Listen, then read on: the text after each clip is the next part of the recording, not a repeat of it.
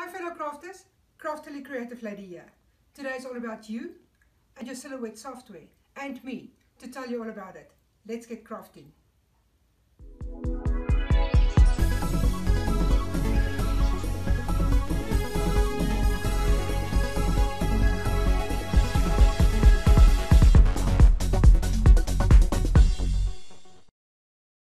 Some materials or situations require images to be cut in a mirror image format, or you may simply just want to flip your objects around to achieve your desired image appearance. So let me show you how we can do this. On the drawing toolbar to the right of your screen you will choose the replicate button. When the replicate menu opens you will find four mirroring options. Further mirroring options may be accessed in the object menu under the replicate submenu listed as mirror options.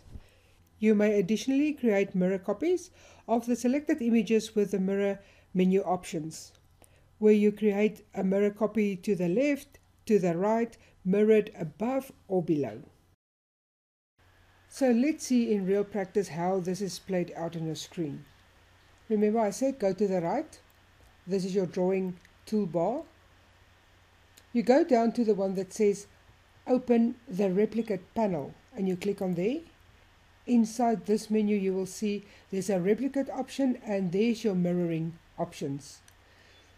So you need to select your object first and then you click on mirror below or mirror above or mirror to the left or mirror to the right. And that is how easy it is to mirror your image. And that's it from me and your Silhouette Studio Business Edition software. Thank you for watching my video. Till next time, goodbye.